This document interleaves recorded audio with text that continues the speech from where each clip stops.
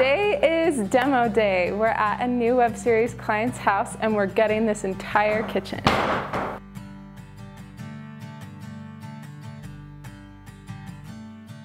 This kitchen is so 90s. You can tell from the tiled countertops, so we're giving it a little bit more function, but a huge facelift.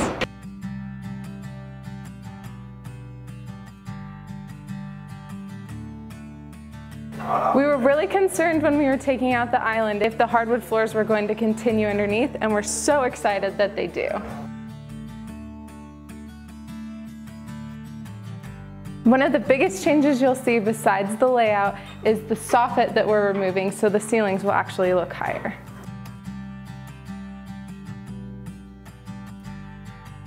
I'm so excited to see this kitchen come together and after it's got its new facelift it will have all new appliances and all new plumbing fixtures from Kohler.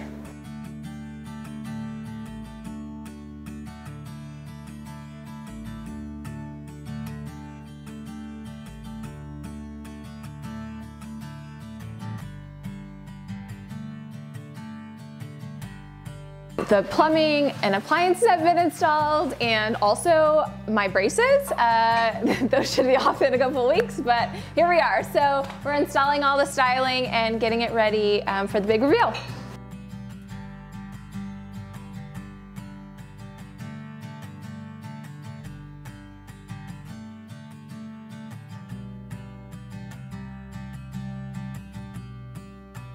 So when we start designing a kitchen, we often, I'd say we start with the color palette.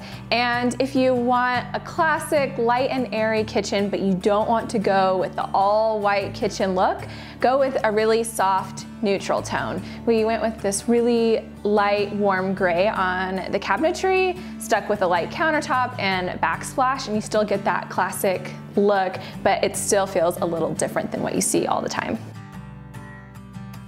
So we stuck with a classic beautiful polished nickel finish on this Kohler bridge faucet. It has these really great lever handles and then a big apron front Kohler farmhouse sink. Never go wrong with farmhouse sink and then we balanced it out. We did brass hardware and natural wood shelves to give it a little bit of warmth and detail. Sometimes clients set us off in a direction or kind of set some parameters to something that they have their heart set on. Our client said she did not want this subway tile that you see every day, but she wanted a white backsplash. So um, we set to work, our team found this really beautiful um, subway tile that has this cool like bevel detail on it. You can see it just adds a really interesting dimension to the backsplash and I love how that turned out. The transformation to this kitchen was pretty dramatic. Um, we have taken it to a much higher end place by making a few big design decisions like taking the cabinets all the way to the ceiling. There's a really cool leaded glass detail in the cabinetry. We added this Kohler pot filler that, I mean, once you have a pot filler in a kitchen, you'll never wanna go back. Um, we did a built-in refrigerator. There's high-end appliances. And then probably the most dramatic of all is we we changed this angular island to be more rectangular and then added really stunning pendant lights above. So the big debate in the kitchen was do we keep seating at the island or do we add more storage?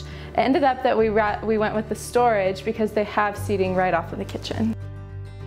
While designing the cabinets in the kitchen, we wanted to create a focal point, so we brought in the hood and kept two symmetrical cabinets on each side, but balanced it out with natural wood shelves in the corner.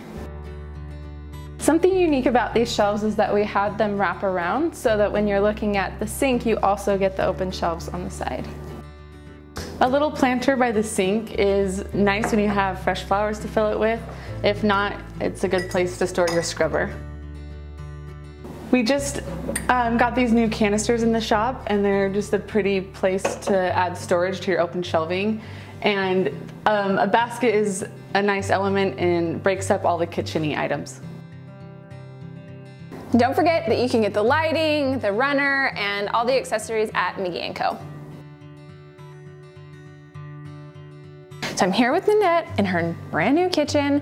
Uh, it's not a complete surprise because she's been living here through the remodel, um, but we've done the fresh styling and it's still pretty, pretty fresh and new.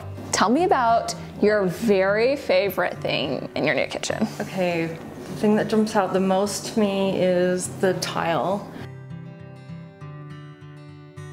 I love the color of the cabinets and the kitchen altogether. It's very light and very open. I could go on and on. I love Maybe. the appliances. Oh, yeah. Um, when we finally got them installed, I about did a cartwheel through the kitchen because I was so excited to use them. And Well, good. Well, thanks so much. Yes. It's been awesome. Thanks so much for trusting us to design your kitchen, and I am so excited for you guys. I think this kitchen proves that you don't have to add square footage to be able to get a really high-end look after your remodel. We just were thoughtful about the selections and how we laid everything out and the result is beautiful. So make sure you follow along for more home tours and design tips.